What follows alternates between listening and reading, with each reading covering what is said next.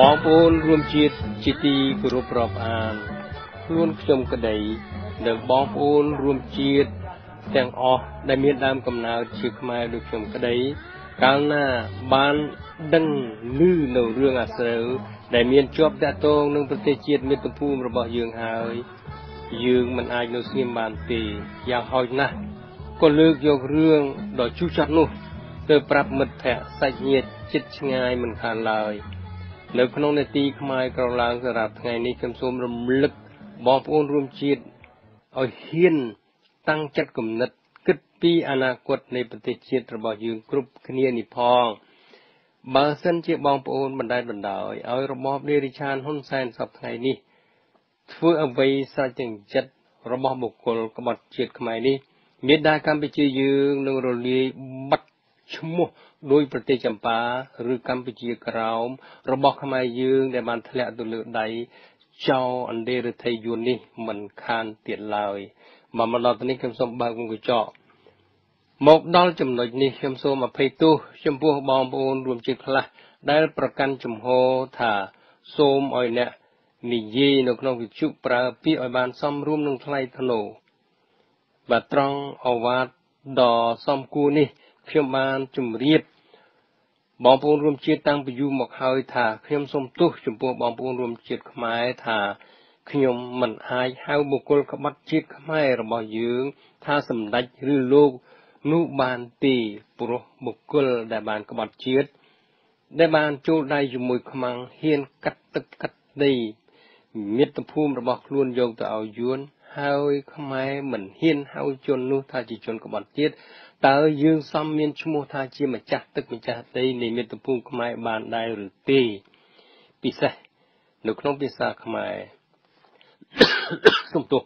ខ្ញុំក៏យល់ពីន័យនៃពាក្យគួសមរបស់វប្បធម៌ខ្មែរយើងដែរដោយពាក្យជីថាអាមឹងមីនេះមីនោះគឺមិនគួរនិយាយឬប្រើនៅក្នុងភាសាសរសេរទេ តែបើបុគ្គលម្នាក់ ដែលបានប្រព្រឹត្តអំពើថោកទាបឬបានក្បត់ជាតិយើងអាចប្រើជាពាក្យថាបិសាចជាថ្មិលជាចោលលក់ជាតិឬដេរិឆានឬមួយជារបបដេរិឆានដោយដែលលោកតំណាងរាស្ត្រហុងលឹមនៅប្រទេសអូស្ត្រាលីបានហៅរបបហ៊ុនសែនមកហៅថាជារបបដេរិឆាននោះខ្ញុំយល់ថាពុំមែនជាពាក្យអសុរោះអ្វីនោះទេគឺគ្រាន់តែជាពាក្យបង្ហាញពីឋានៈ ជាងាររបស់បុគ្គលនោះតែប៉ុណ្ណោះឯងហេតុនេះសូមបងប្អូនទទួលយល់តាមការពិតនេះផងចុះមកសុំបិណ្ឌមុខកញ្ចក់វិញបងប្អូនរួមជាតិជាទីគោរពរាប់អាន នៅក្នុងកលៈទេសៈដ៏លំបាកនិងក្នុងស្ថានភាពដ៏រញ៉េរញ៉ៃនេះខ្ញុំបានឃើញបងប្អូនរួមជាតិមួយភាគធំ ដែលជាអ្នកគ្រប់គ្រងគណៈបកសង្គ្រោះជាតិនិងធ្លាប់តែចេញមុខ ប្រឆាំងនឹងរបបនារីឆានហ៊ុនសែនបែរជានាំគ្នា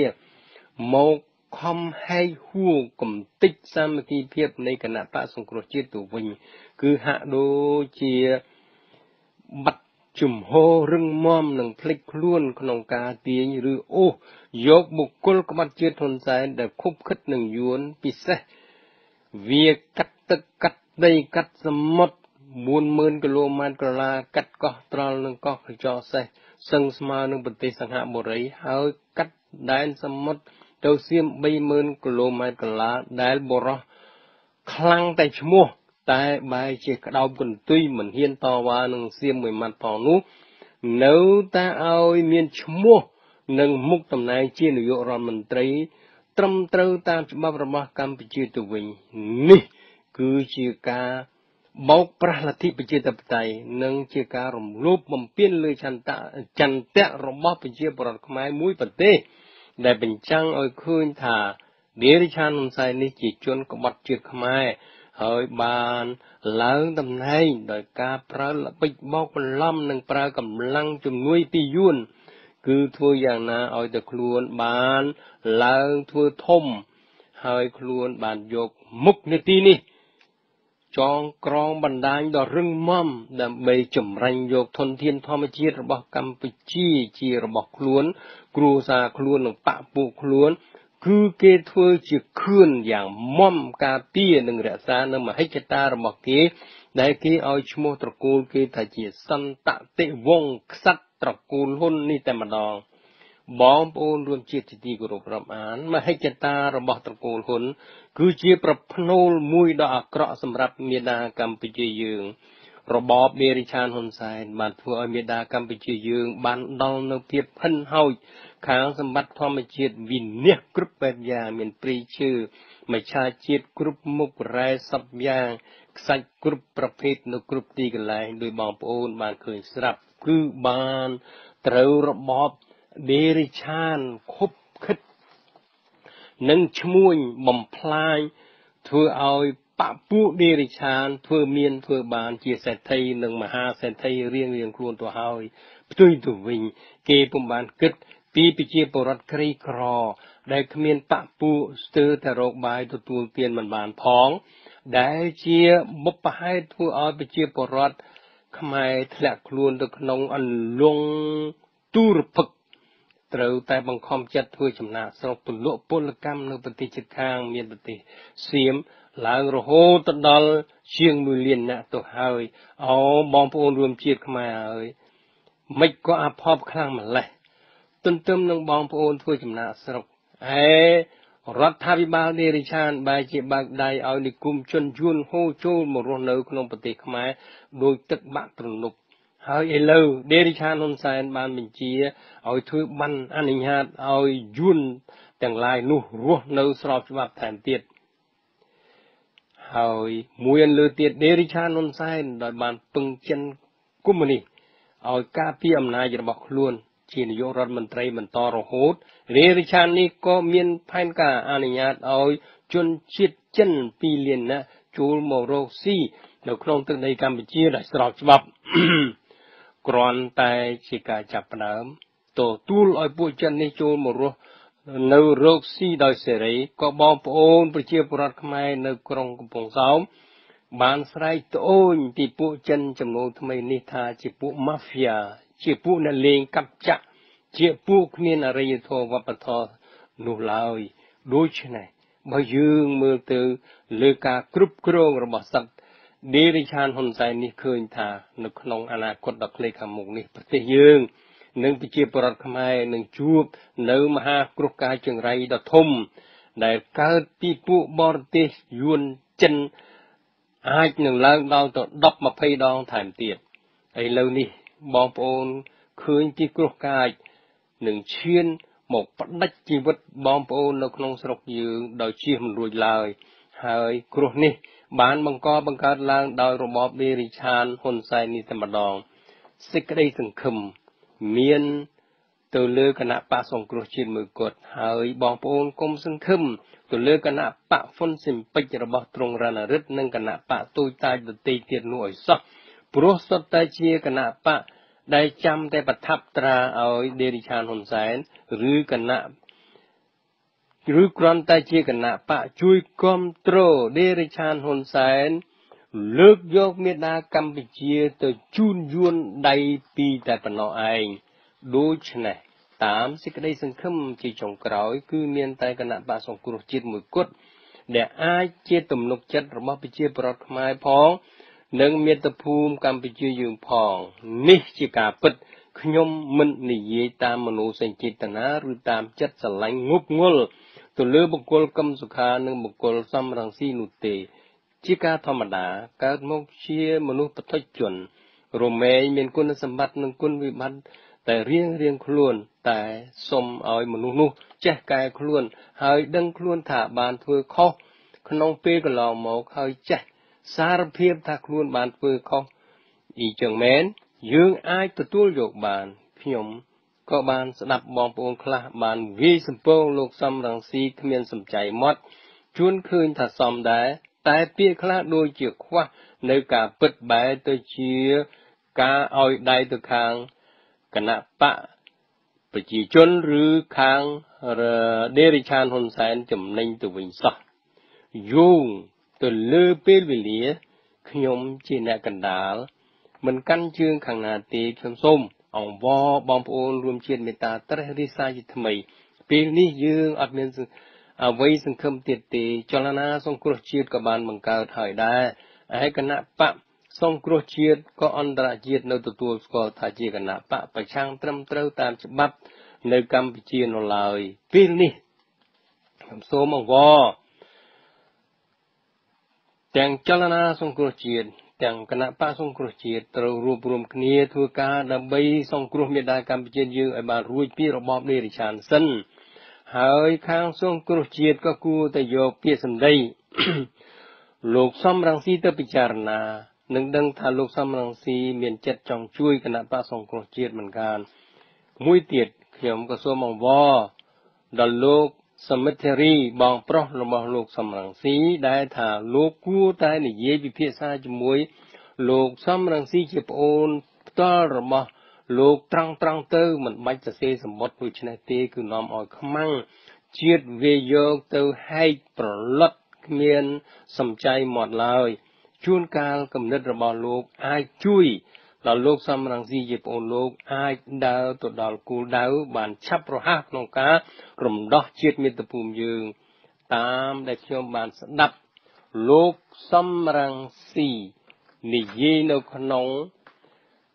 អង្គប្រជុំថ្ងៃទី28មករានៅទីក្រុងឡងប៊ីជនោះលោកសំរងស៊ីបាននិយាយដូចនេះសូមបងប្អូនស្ដាប់ហើយជួយពិចារណា ការងាររបស់យើង ដែលរៀបចំកម្លាំងជាធិបតេយ្យគឺបានដំណើរការយ៉ាងល្អជាទីបំផុតទោះជាយើងមិនទាន់បានដឹកនាំប្រទេសតែយើងបានរៀបចំកម្លាំងយើងបានត្រៀមលក្ខណៈយើងបានបំពេញលក្ខខណ្ឌមួយចំនួនដើម្បីធានាជ័យជំនះប្រជារាស្ត្រខ្មែរក្នុងពេលឆាប់ឆាប់ទៅមុខកុំភ្លេចថាយើងតទល់ជាមួយអាណា មិនមែនតទល់ជាមួយហ៊ុនសែនទេតទល់ជាមួយយួនលេបទឹកដីខ្មែរមកឆាំងតែជាមួយហ៊ុនសែនម្នាក់មកហ៊ុនសែនតើដាក់យូរយ៉ាងណាមកហើយយួនបង្កើតគណៈបកហ៊ុនសែនគណៈបកប្រជាជនកម្ពុជាស្អីទៅនោះតាំងពីឆ្នាំ1951 យួនធ្វើអន្តរាគមគ្រប់សពគ្រប់បែបជួយពួកខ្មែរវិញមិនពួកខ្មែរដែលបម្រើយួន28ឆ្នាំបានអាចលើកបន្ទុកពួកអាយ៉ងយួនឡើងកាន់អំណាចនៅឆ្នាំ1979 28ឆ្នាំនេះយួននៅពីក្រោយផងកងទ័ពយួនបានច្បាំងឈ្នះកងទ័ពអាមេរិក កងទ័ពយួនបានស្បាំងឈ្នះកងទ័ពបារាំងមុនទៅទៀតប្រទេសយួនទាំងមូល90លាននាក់នៅពីក្រោយហ៊ុនសែនបានលើកបន្ទុកហ៊ុនសែន28ឆ្នាំយើងទើបតែតស៊ូប្រហែលឆ្នាំដៃតែទេរហូតមិនមែនមកឆាំងតែហ៊ុនសែនទេយើងតស៊ូដើម្បីរំដោះប្រទេសយើងពីក្រញាំយួនផ្សេងទៀត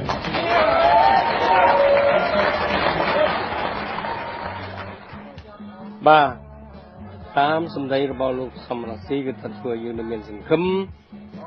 ថាលោកមិនក្បត់ជាតិដោយហ៊ុនសែន បានលក់ប្រទេសជាតិមាតុភូមិរបស់យើងទៅឲ្យយួននោះទេ បាទទីខ្ញុំបាទជាតិថងសាវិទ្យុខ្មែរពិភពលោករៀបរៀងជូនបងប្អូនស្ដាប់ពីរដ្ឋមីនីសូតាសហរដ្ឋអាមេរិកដោយសេចក្តីគោរពរាប់អាននិងស្រឡាញ់ដ៏ស្មោះសូមអរគុណនិងសូមជម្រាបលាបាទឆ្នាំចឆ្នាំ2018នេះ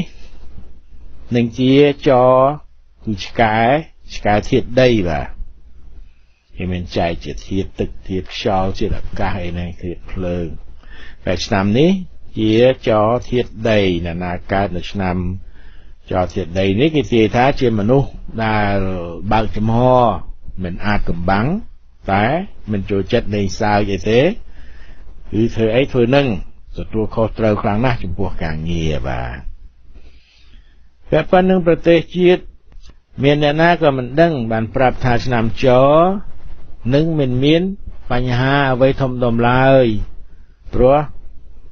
ឆ្កែវាបានតែព្រុសវាអត់ខំបាទយ៉ាងណាក៏ដោយលោក Johnny នៅក្រុងឡូរដ្ឋ Massachusetts លោកបានទាយរួចទៅហើយថាឆ្នាំចនេះគឺជាឆ្នាំសូយរបស់អាខ្វាងបាទជាឆ្នាំវិនាស ជាឆ្នាំកាលកិណីជាឆ្នាំហិនហោចរបស់អាខ្វាងក៏ថែមទាំងហ៊ានភ្នាល់ទៀតផងថាបើអាខ្វាងមិនឈិបហាយលងចុងនៅសល់តែខោលីអូទេនោះលោកហ៊ានភ្នាល់100ស៊ីតែមួយរៀលទេបាទដូច្នេះយើងគួរតែចាប់ភ្នាល់ចូលឆ្នាំបារាំងមកក៏ជាងមួយខែហើយអស់ពីចូលឆ្នាំចិន 57ថ្ងៃទៀតគឺមួយខែ29ថ្ងៃទៀតក៏នឹងចូលឆ្នាំខ្មែរបាទគឺថ្ងៃ14មេសាខាងមុខយើងនឹងចាំមើលថាតើអាខ្វាងវានឹងប្រកាច់ងាប់នៅឆ្នាំណា ឆ្នាំបារាំងឬឆ្នាំចិនឬក៏ឆ្នាំខ្មែរបាទតែនៅចន្លោះថ្ងៃច័ន្ទទី16មេសាហើយនឹង31ធ្នូ2018 គឺវាងាប់វាងាប់នៅចន្លោះហ្នឹងគឺត្រូវទាំង3ឆ្នាំ3សាសហ្នឹងបាទអរលោកអ្នកនាងជាទីមេត្រីថ្ងៃនេះខ្ញុំសូមខ្លីៗទៅចុះព្រោះថាព្រឹកនេះត្រូវទៅពេទ្យឲ្យគេពិនិត្យសុខភាពហៅថា annual check up បាទគេហៅមកនឹងប្រមាណដងខ្ញុំជាមនុស្សដែលចាត់ទុកថាសំណាងព្រោះអត់មានជំងឺអ្វីដែល ធ្ងន់ធ្ងរត្រូវលេបថ្នាំជាប្រចាំនឹងគេទេបាទក្រៅពីសុរាមេរ័យបន្តិចបន្តួចខ្ញុំក៏ទទួលទានតែកាហ្វេកាហ្វេខ្មៅស្នាមអត់មានបាទអ្នកខ្លះអាយុ70ផ្លាយហ្នឹងគេត្រូវទទួលទានអឺស្នាមសម្ពាធឈាមស្នាមកូលេស្តេរ៉ុលខ្ញុំប្រាប់ពេទ្យហើយតែខ្ញុំអត់ផឹកទេ អឺពីព្រោះថាកាលណាផឹកហើយគឺផឹកអត់ឈប់ហ្មងចាំបាច់ត្រូវតែផឹករហូតឯគេថាអញ្ចឹងលើកនេះបើសិនជាស្អីស្អីវាច្រើនខ្លាំងពេកបើឆ្នាំទៅមិញនេះមិនអីបាទស្ករក្នុងខ្លួនក៏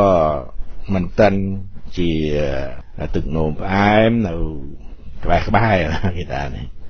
pre ថា pre pre high blood pressure pre high tension pre ស្អីទេ diabetes ស្អីហ្នឹងបាទហើយ pre តែប៉ុណ្្នឹងបានហើយបាទយកប៉ុណ្ណេះយកអីទៀតខ្ញុំគិតថាចំពោះអ្នកដែលមានការធានាសុខភាពបាទបើសិនជាយើងមិនដែលទៅពេទ្យយើងមិនប្រើប្រាស់វាអា premium ប្រាក់ដែលយើងត្រូវបង់ហ្នឹងគួរតែចុះបន្ថយឲ្យខ្ញុំថាអញ្ចឹងវាវាវាយុទ្ធធរជាងណា បើមិនអញ្ចឹងទេថាខាងក្រុមហ៊ុនហ្នឹងទទួលទានទៅទេទៅទេយើងត្រូវធ្វើដោយ premium ធានារ៉ាប់រងរថយន្តមិនត្រូវគឺថាកាលណាតាប្រហែលឆ្នាំទៅយើងមិនដែលប្រើគឺបានមិនដែលមានអសិដង់បញ្ជលគ្នាបុកគ្នាហ្នឹងគេបន្ថយអឺតម្លៃ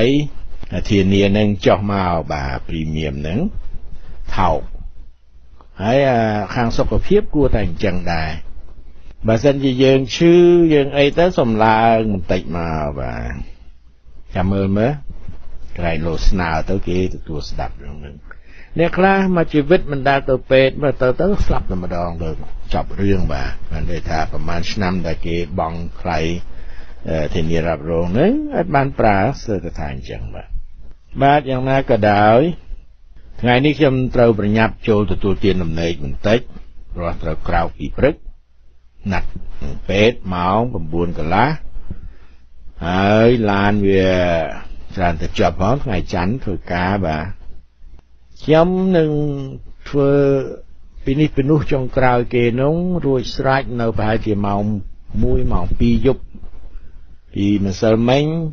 រហូតដល់ម៉ោង7ព្រឹកនៅទៅរួច6កន្លះគឺ7នោះទម្រាំនឹងរួចបាទងុយក៏ងុយមិនបានជាវាយឺតអញ្ចឹងមកពីស្អីមួយខ្ញុំទៅឆ្កើនេះឆ្កើនោះអាននេះអាននោះបាទនឹងមួយយ៉ាងបានជាយឺតនឹងវាមានរឿងស្អីផ្សេងទៀតត្រូវធ្វើនឹងក៏ច្រើនដែរដូចជាខ្ញុំត្រូវអានសភៅឲ្យថតសំឡេង ដូចជារឿងនរណាជាឃាតកររៀបចំអត្ថបទសំឡេងរបស់លោកសោមសេកុមាររឿងអក្រិតកម្មរបស់ស្ដេចសៀនុជាដើមបាទគ្រាន់តែជួយរកសម្លេងលោកសំរងស៊ីដែលបានថ្លែងប្រកាសបើកចលនាសង្គ្រោះជាតិរបស់លោកនៅឯ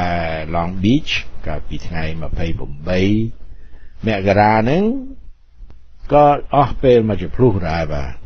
ព្រោះត្រូវ download សំឡេងហ្នឹងពី YouTube រួចហើយមករកអាកន្លែងដែលលោកបងជាតិហងសាគាត់ស្រង់មកយកមកលំអអត្ថបទរបស់គាត់រឿងខ្មែរអើយក្រោកឡើងនោះសម្រាប់នឹងរកឃើញក៏អស់ពេលយ៉ាងយូរព្រោះខ្ញុំវាខ្ជិលស្ដាប់ទាំងអស់មកខ្ញុំជិតចិត្ត skip ទៅ skip មកមិនចេះចាំអាកន្លែងដែលត្រូវស្រង់ចេញមកសោះ បានជាត្រូវធ្វើអញ្ចឹងព្រោះសំឡេងដែលលោកបងជាតិហងសាបានយកមកប្រើនឹងប្រហែលជាលោកបានថតចេញ ដោយត្រង់ពី Facebook ឬ YouTube បាទមិនប្រើវិធី download គឺថាបើសិនជាយើងអឺចេះ download វាច្បាស់បានសំឡេងច្បាស់ជាងប៉ុន្តែបើសិនជាយើងបើកខ្សែអាត់ថតសំឡេងខាងក្រៅវាមានសំឡេងអេកូសំឡេងរំពង បានស្ដាប់ទៅមិនសូវដឹងរឿងថានិយាយអីក្រៅពីនេះក៏មានការតបសម្បត្តិចិត្តម៉ាយឆ្លើយឆ្លងក្នុង chat ឬ Messenger មកចេះតែមានរឿងណាមិនចេះចាប់ទេបាទហើយតែបើក Facebook គឺបានរឿងតែម្ដងហើយត្រូវបើកនេះបើកនោះតែរហូតហ្នឹងតែស៊ីពេលច្រើនជាងគេគឺខ្ញុំចូលចិត្តតាមស្ដាប់ស្ថានភាពរបស់រដ្ឋាភិបាល Donald Trump បាទគឺតាម Fox News តាមស្អីហ្នឹង CNN ខ្ញុំលេងមើលហើយព្រោះវា fake news ច្រើនពេកហើយអ្នកដែលចេញមកនិយាយហ្នឹងគឺមុខមាត់អាក្រក់តលតែមែនទែនវាស្អប់ Trump ស្ដាប់ Donald Trump ហួសហេតុពេកចង់ស៊ីសាច់ហត់ឈាមមិនថាប្រុសមិនថាស្រីអាស្លាប់ឃើញល្អល្អសប្ថ្ងៃហ្នឹងទៅជាអាក្រក់ដូចប្រែតដូចបិសាចអស់ទៅអានឹងមកពីចិត្តយើងវាក៏លំអៀងដែរមាន bias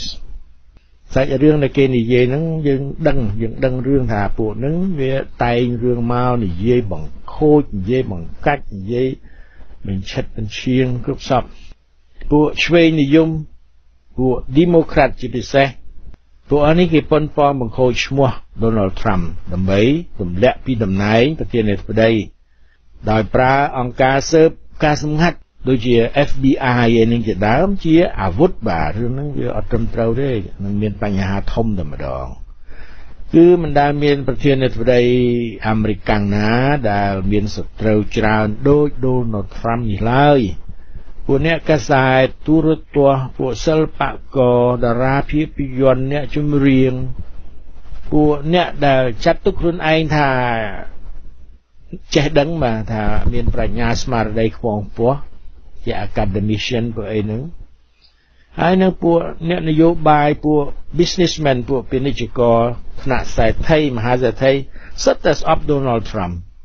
ភាគច្រើនបាទភាគច្រើនគឺស្អប់ Donald Trump ព្យាយាមបង្ខូចឈ្មោះ Trump មានអាខ្លះហ្នឹងចេញមកជេរត្រង់ត្រង់ចឹងដែល Trump ជាប្រធានាធិបតីបានចាប់ឆ្នោតយ៉ាងត្រឹមត្រូវអត់មានលួចបន្លំសន្លឹកឆ្នោត ដោយអាចង្រៃខ្វាងរបស់កម្ពុជាយើងនោះទេប្រជាពលរដ្ឋអាមេរិកកាំងមួយជំហៀងនគរក៏ស្អប់ Donald Trump ខ្លាំងណាស់ដែរបាទភាគច្រើនសួរទៅមិនដឹងថាស្អប់រឿងអីឃើញគេស្អប់ឬគេជេរក៏ជេរតាមគេអញ្ចឹងទៅឈួតអញ្ចឹងក៏មានដែរបាទតែក៏ហាក់ដូចជាមានព្រះជាម្ចាស់កាន់ជើងបាទកាន់ជើង Donald Trump គឺខាងគាត់ឈ្នះមករហូតមិនថាចោតប្រកាន់គាត់រឿងអីឥឡូវអារឿងចោតប្រកាន់ថារុស្ស៊ីណានឹងចូលមកជួយ Donald Trump ឲ្យឈ្នះឆ្នោតអីហ្នឹង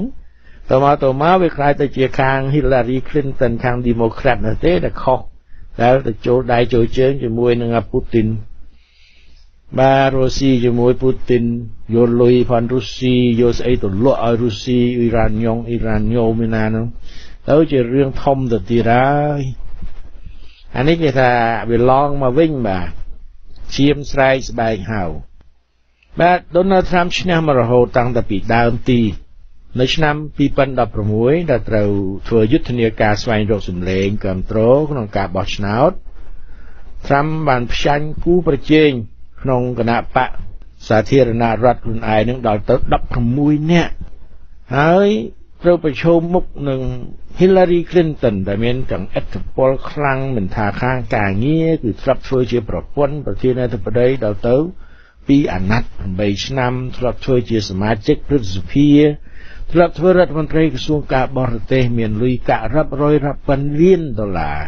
តាមរយៈអំពើពុករលួយខុសច្បាប់បំពានច្បាប់គ្រប់បែបយ៉ាងបាទអ្នកណាដែលមិននឹកស្មានថានយោបាយអាមេរិកកាំងវាស្មោកគ្រោកអាក្រក់អាក្រៃ អាចត្រៀមខ្លួនបាទត្រៀមខ្លួនតាមមើលបាទតាមមើលតាមដានការបោះសម្អាតភក់ជ្រាំនៅក្រុង Washington DC នឹងគឺនឹងមានធ្វើកំពុងតែធ្វើនៅក្នុងអាណត្តិទី1របស់ Donald Trump នេះហើយព្រោះមើលមើលទៅប្រហែលជានឹងមានមន្ត្រីក្រាក់ក្រាក់ក្នុងរដ្ឋាភិបាលអូបាម៉ានាំគ្នាដើរក្នុងជួរឆ្ពោះទៅកាន់មន្ទីរឃុំឃាំង ឲ្យរពយហើយមើលទៅបាទ Donald Trump បានសន្យានឹងម្ចាស់សន្លឹកឆ្នោតថានឹងពង្រីងភក់ច្រាំពុករលួយនៃនៅក្នុងរដ្ឋាភិបាលនិងសភាកុងក្រេឲ្យបានជាដាច់ខាតដូចគ្នានឹងកាត់សន្យាពីរឿងអន្តោប្រវេសន៍ខុសច្បាប់ឬអីហ្នឹងបាទមានពាក្យស្លោកជាច្រើន របស់ Donald Trump ដូចជា drain the swamp ឬក៏ make America great again America first USA first អីចឹងឬក៏ build the wall តែពីនឹងក៏មាន lock her up អី lock her out ចាប់យ៉ាង Hillary ដាក់គុក បាទខ្ញុំនឹងមិនលើកយករឿងនយោបាយផ្ទៃក្នុងរបស់សហរដ្ឋអាមេរិកមកជម្រាបអស់លោកអ្នកនាងនៅទីនេះទេព្រោះមិនមែនជាអ្នកជំនាញក្នុងរឿងហ្នឹងគ្រាន់តែតាមមើលបាទតាមមើលឆ្ងាយឆ្ងាយដូចគេដូចឯងក្នុងឋានៈជាអ្នកគ្រប់គ្រង Donald Trump តាំងពីអើយមកបាទរឿងការប្រមាថការទៀនមេដឹកនាំប្រទេសយើងឃើញថានៅសហរដ្ឋអាមេរិកនឹងវាយប្រហារគ្នាយ៉ាងគួរឲ្យព្រឺបាទ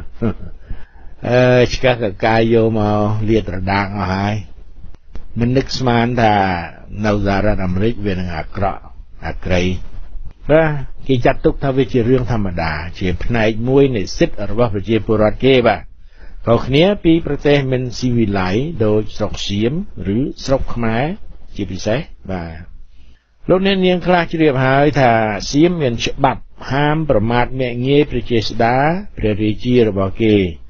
មាត្រា112នៃច្បាប់ព្រហ្មទណ្ឌរបស់សៀមគ្របដណ្ដប់ទៅលើព្រះមហាក្សត្រព្រះរាជិនីមកុដរាជកុមារអ្នកបន្តរាជនិងរាជានុសិទ្ធបាទការដើរចិនក្រដាស់ប្រាក់ដែលមាន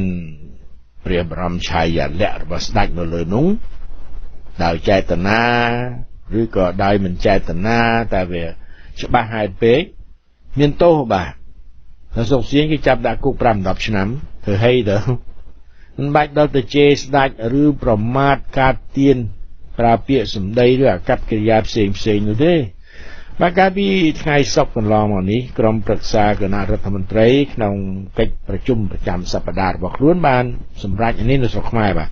បានសម្រេចឲ្យសច្ចាប្រណិធានទៅលើវិសោធនកម្មរដ្ឋធម្មនុញ្ញនិងច្បាប់ព្រហ្មទណ្ឌពាក់ព័ន្ធជាពិសេស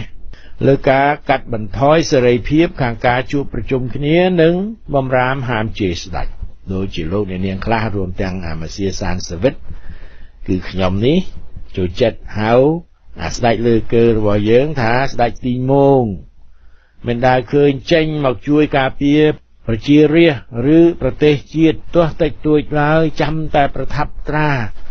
គឺប្រថាប់ត្រាឲ្យអាខ្វាងហើយនឹងយួននឹងចិនមិនថាសេចក្តីសម្រេច អាចគោមេស្អីទេអាជានេះប្រថាប់ត្រាឲ្យទាំងអស់ឡើងសាក់ឲ្យកូនចៅពួកអាចង្រៃនឹងក៏វាយត្រាឲ្យឲ្យយួនចូលជាខ្មែរក៏វាយត្រាឲ្យគឺអត់បានការហ្មងបាទបាទគេចេញច្បាប់មកហាមិនឲ្យជេយោងតាមអាអ្នកនាំពាក្យឈ្មោះផៃស៊ីផោមអានេះអានេះស៊ីផោមបាទជាមនុស្សចង្រៃដែលស្លាប់រស់នៅដូចជាក្រុង Long Beach រដ្ឋ California ឥឡូវ ហាក់ដូចជាបានត្រូវដកហូតសិទ្ធិជាពលរដ្ឋអាមេរិកទៅហើយតែវាក៏មិនទៅព្រឺរោមព្រឺមមិសអីវានោះទេព្រោះវានៅស្រុកខ្មែរហ្នឹងវាថាវាសបាយអស្ចារ្យមិនវាហើយបាទបាទផៃស៊ីផោមបានចេញមកប្រាប់ក្រុមអ្នកកសែតថារិលសំណើវិសោធនកម្មទាំងអស់ បានទទួលអនុម័តគ្មានសល់ជាមួយគ្នានឹងការកែសម្រួលបទព្រហ្មទណ្ឌនិងច្បាប់គ្រប់គ្រងលើក្រមប្រឹក្សាធម្មនុញ្ញមាត្រាដែលគេយកមកកែប្រែធ្វើវិសោធនកម្មនឹងមានមាត្រា42 49 53និង118បានមាត្រា49ចែងថាពលរដ្ឋខ្មែរគ្រប់រូបត្រូវគោរពរដ្ឋធម្មនុញ្ញហើយមានករណីយកិច្ចការពារមាតុភូមិវិសោធនកម្មនឹងហាមមិនឲ្យបុគ្គល ទាំងឡាយធ្វើអន្តរាយដល់ផលប្រយោជន៍របស់ប្រទេសបាទគ្រាន់តែចំណុចនេះមេត្រានេះតែមួយហ្នឹងអាខ្វាងនិងបពពួកចង្រៃរបស់របបដេរិឆានវានឹងក៏គួរតែត្រូវបញ្ជូនឲ្យទៅដេកនៅព្រៃសរឬត្រពាំង plong បាត់ទៅហើយព្រោះវាមិនដែលការពារមាតុភូមិមិនថាពាក់ព័ន្ធនឹងបរណភាពដែនដីដែនទឹកដែនកោះអីទេ ហើយក្នុងវិស័យធនធានធម្មជាតិសម្បត្តិទ្រព្យរបស់ប្រទេស វាក៏បង្ហិនបង្ហោចដូចដឹងស្រាប់ហើយខ្ញុំនិយាយទៅក៏វាដដែលដដែលព្រៃឈើមច្ឆជាតិរ៉ែហើយមានស្អីទៀតរបស់ដែលខ្មែរយើងមានថាគ្រាន់បើល្អល្អវាឲ្យបរទេសអស់គោវត្តអីប្រាសាទអីហ្នឹងខ្មែរគ្មានបានទទួលផលប្រយោជន៍អីទេបូកងបកគោអីហ្នឹងវាស៊ូឲ្យយួនទៅនៅទៅធ្វើស្អីណាពីពេញអាមនុស្សចង្រៃអញ្ចឹងវា វាវាធ្វើច្បាប់មកធ្វើពងផ្លោកអីវិញខ្ញុំក៏មិនយល់ដែរសូមអភ័យទោសបាទអត់បានកាលបើវាមិនដែលអនុវត្តច្បាប់ក្នុងស្មារតីច្បាប់ដើម្បីផលប្រយោជន៍របស់ប្រទេសជាតិសោះនោះបាទកាលពីថ្ងៃប្រហោះអាខ្វាងវាបានប្រកាសថាវានឹងធ្វើឲ្យមានវិសោធនកម្មមួយដោយឡែកទៅលើច្បាប់ព្រហ្មទណ្ឌដោយនឹងបញ្ចូលច្បាប់ហាមមិនឲ្យ ជេរប្រមាថព្រះចេស្តាអង្គមហាក្សត្របាទអាកាពេកាលពីថ្ងៃសុក្រក៏បានចេញមកអឺរាយការណ៍ដែរថាអ្នកណាហ៊ានទៅជេរអាសម្ដេចទីងមងក៏នឹងត្រូវជាប់គុកពី1ឆ្នាំដល់5ឆ្នាំ ហើយក៏នឹងត្រូវពីនៃពី500ដល់2500ដុល្លារទៀតផងខ្ញុំថាអាខ្វាងវាមើងងាយព្រះចេស្តាស្ដេចខ្មែរយើងខ្លាំងណាស់ព្រោះបើប្រៀបធៀបទៅនឹងស្ដេចសៀមគឺដាក់ទោស អ្នកប្រមាថស្ដេចនឹងស្រាលមហាស្រាលបាទករណីមួយកាលពីខែមិថុនាឆ្នាំទុំមិញតុលាការសឹកសៀមបានកាត់ទោសបរិសសៀមម្នាក់ឈ្មោះវិជ័យអវិជ័យបាទគេអត់ប្រាប់នាមត្រកូលទេព្រោះខ្លាចត្រូវសងសឹកមកត្រូវគេទៅធ្វើបាបគេកាន់តែប្រាប់ថាឈ្មោះវិជ័យ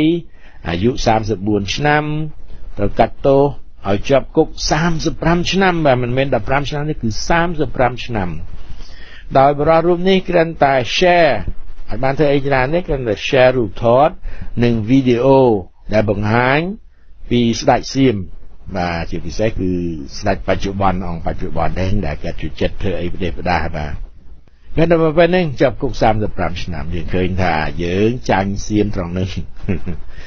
ធ្វើបាបធ្វើបាបអ្នកដែលជេរស្ដេចនេះក៏ធ្វើបាបរបៀបសើសើធ្វើបាបទៅអីចឹង និយាយលេងទេកុំមានទៅក៏វាល្អដែរពីព្រោះវាវាហួសសម័យទៅហើយសប្តាហ៍នេះបើខ្លួនឯងជាស្ដេចល្អមានអាណាចឈួតទៅជេរប៉ុន្តែស្ដេចវាលើគឺមិនឲ្យជេរមិនកើតហើយជាពិសេសស្ដេចខ្មែរមិនគួរមានទេព្រោះស្ដេចខ្មែរជាឧបករណ៍របស់ពួកអាកន្តោពួកយួនវាធ្វើឡើងនឹងដើម្បីទុកសម្រាប់ឲ្យសញ្ញេឲ្យ សញ្ជាតិដល់ពួកវានោះតែប៉ុណ្្នឹងទេឲ្យវានៅនឹងសម្រាប់សញ្ញេឲ្យកោះត្រល់ទៅវាសម្រាប់សញ្ញេឲ្យស្អីស្អីឲ្យអស់ទៅស្រុកខ្មែរហ្នឹងឲ្យអាស្ដេចជំគួតហ្នឹងសញ្ញេអស់ទៅបាទមានធ្វើអីមែនទេស្ដេចនេះគួរតែលេបថ្នាំសម្លាប់ខ្លួនទៅហើយមិនគួរនៅតទៅទៀតទេព្រោះប្តីដូចជានៅស្រុកបារាំងឯណោះអាមករុកកាំងណានោះអើមួយថ្ងៃមួយថ្ងៃដេកយល់សពឃើញតែប្តី ស្ដេចប្រុសតែមានប្តីបាទយ៉ាងណាក៏ដោយពាក់ព័ន្ធនឹងការចេញច្បាប់ហាម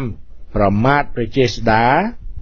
អង្គព្រះមហាក្សត្ររដ្ឋាភិបាលដេរិឆានរបស់ពួកអដេរិឆានកញ្ចេះយួនកញ្ចេះចិន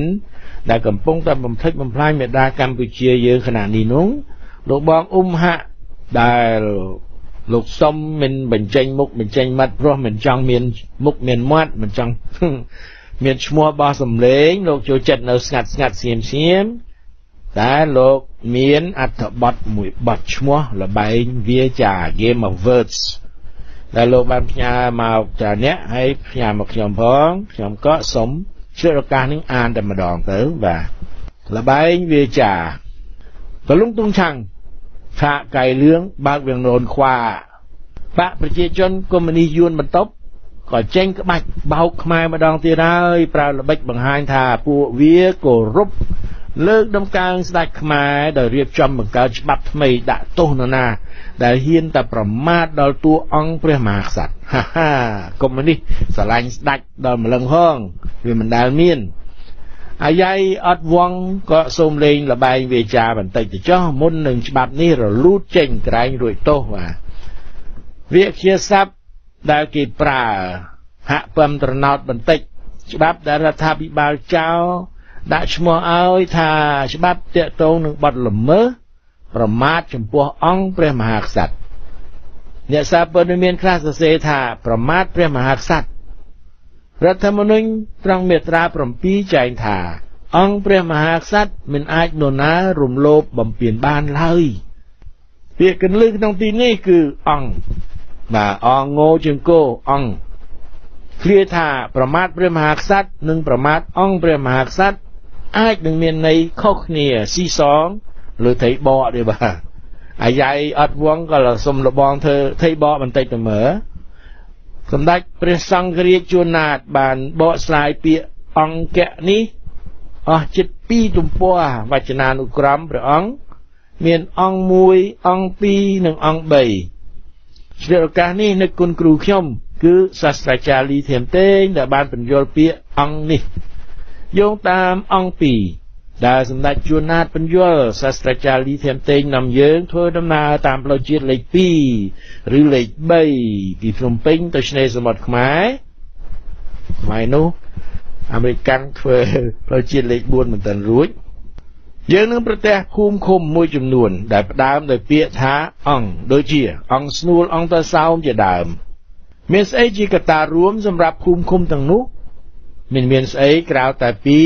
ទីសក្ការៈបូជាបន់ស្រន់ដែលមានសំណាកព្រះអង្គឬព្រះសិវលឹង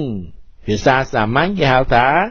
ក្តរព្រះអិនបាទហើយនៅក្បែរនោះក៏មានសំណាកតំណាងភេទរបស់ព្រះនាងអូម៉ាដែលជាភរិយាព្រះសិវៈនោះផងដែរតាមភាសាត្រៃធ្នូគេហៅថាយោនីព្រះអូម៉ាឬឧម៉ាយោនីសំណាក់ដែលខ្ញុំបានឃើញគួរឲ្យចាប់អារម្មណ៍គឺនៅភ្នំគូលែន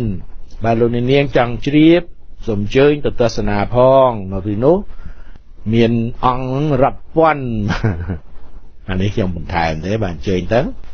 សំណេរច្បាប់ត្រូវស្មេច្បាប់ប្រើពាក្យឲ្យត្រូវចំនឹងគ្រប់គ្រាន់ថែមមួយម៉ាត់ឬដកមួយម៉ាត់អ្នកចម្រៀងអាយ៉ៃឬចៅក្រមអាចនឹងបកស្រាយបានតាម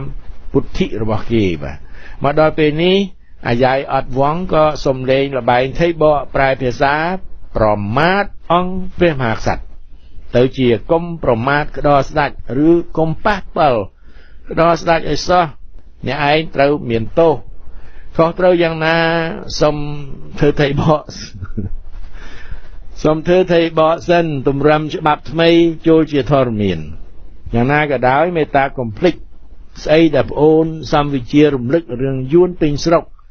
បាទកៃលៀងលើឆាកលាក់រឿងក្រោយឆាកបាទតតទីងភ្លុងអាយ៉ៃអត់វងសុំសម្រាប់មួយភ្លេតបាទ ចាប់ប៉ុណ្្នឹងបាទលោកអ៊ុំហាក់ថ្ងៃ5កុម្ភៈ2018គឺយើងដឹងថាស្ថានភាពនៅស្រុកខ្មែរយើងវាមានតែប៉ុណ្្នឹងសប្តាហ៍ថ្ងៃហ្នឹងគេព្យាយាមពន្យឺតរឿងបាទកៃលឿងឬក៏រឿងរៀមគេឬក៏រឿងស្អីក៏តាម ណារឿងស្អីក៏ដោយគឺគេពន្យឺតឲ្យវាវែងបាទវែងយើងរវល់តែចាប់អារម្មណ៍តែរឿងនេះភ្លេចពីរឿងសំខាន់នៅក្រោយឆាកបាទគឺរឿងយួនចូលស្រុកចូលមកពេញហើយលោកម្ចាស់អើយហើយវាក៏កំពុងតែបង្ខំឲ្យខ្មែរផ្ដល់នៅសេចជាតិឲ្យពួកយួនផងលោកនាងជ្រាបទេថាតតិចរបស់យួនគឺអ្វីវាធ្វើដូចគ្នាបាទរាល់ដងនៅស្រុក ចម្ប៉ាស្រុកចាមហ្នឹងក៏វាធ្វើអញ្ចឹងយកកូនកំមុំមកឲ្យស្ដាច់រួចហើយក៏បញ្ជូនពួកវាមកនៅពួកវាវាប្រកែធ្វើកូនផងមកនៅតែមកសទុះទៅកូនពួកវាពេញស្រុកបាទកម្ពុជាក៏ដូចគ្នាដែរមុនដំបូងក៏ឲ្យកូនកំមុំមកស្ដេចជ័យជេដ្ឋាទី2បាទឬហើយក៏សូមជ្រោកកោនជ័យជេដ្ឋារវល់ថាធីងមងជាមួយនឹងនាងអង្គចៅឧដុងឯណា មានអីបាទកម្ពុជាក្រៅមកពួកនោះហូរចូលមកវិញមិនយូរមិនឆាប់ខ្មែរទៅជាជនជាតិភាគតិចនៅក្នុងតំបន់នៅក្នុងប្រទេសរបស់ខ្លួនបាទពួកវាបញ្ចូលមកតែ10លានយើងមាន5លានចាញ់វាបាត់ទៅហើយឥឡូវស្រុកខ្មែរទៀតដែរបាទសប្តាហ៍នេះខ្មែរមានថា5ដល់10លានទៅចុះខ្ញុំមិនជឿថាមានដល់5ដល់10លានផងព្រោះ តាំងពី79មកនឹងវាបញ្ចូលមកមិនដឹងជាប្រមាណទៅទៀតទៅហើយយួនអូខេថា5 10លានខ្មែរ5 10លានឥឡូវវាបញ្ចូលយួនមកឲ្យតែ30លានទៅយើងក៏ចប់បាទហើយចូលមកម្ដងម្ដងសន្សឹមសន្សឹមហ្នឹងអឺភ្លេចភ្លេចវាហួស5ឆ្នាំទៅទៅឲ្យសញ្ជាតិគេដែរអញ្ចឹង ចុះបើយើងរដ្ឋាភិបាលយើងនឹងវាចាំតែជួយគេដែរជាត្រាកៅស៊ូសម្រាប់វាយត្រាឲ្យគេបាទអូខេខ្ញុំសូមបញ្ចប់ពីនេះពីនោះថ្ងៃនេះតែប៉ុណ្ណេះចុះព្រោះដូចជំរាបហើយស្អែកនេះមានទុរៈបាទទៅឲ្យពេទ្យគេខ្វេះកគូតមើលអីតទៅទៀតយកឈាមយកស្អីទៅពិនិត្យសង្ឃឹមថាអាចនៅបានមួយរយៈទៀតបាទតែអ្នកណាទៅដឹង ស្អែកហ្នឹងអាចពេលគេប្រាប់ថាអូមហារាជកំពុងស៊ីថ្លើមស៊ីប្រមាត់ឬស៊ីបែងក្បាលខ្ញុំក៏មិនដឹងដែរអវស៊ីអស់អស់ទៅអានចាប់ចាប់រឿងសូមជម្រាបត្រង់ត្រង់សប្តាហ៍ថ្ងៃហ្នឹងក្តុកក្ដួលក្នុងរឿងស្រុកទេនឹងខ្លាំងណាស់ហើយយើងងាប់ទៅវាមិនអីទៅចាប់កូនចៅយើងបាទលោកអ្នកនាងដែលមានកូនមានចៅនៅស្រុកខ្មែរអូវេទនាណាស់កាន់តែឃើញនាងយាយជីវីមិនខ្ញុំបាទខ្ញុំហៅតារាវីថាយាយជីហើយសប្តាហ៍ថ្ងៃព្រោះ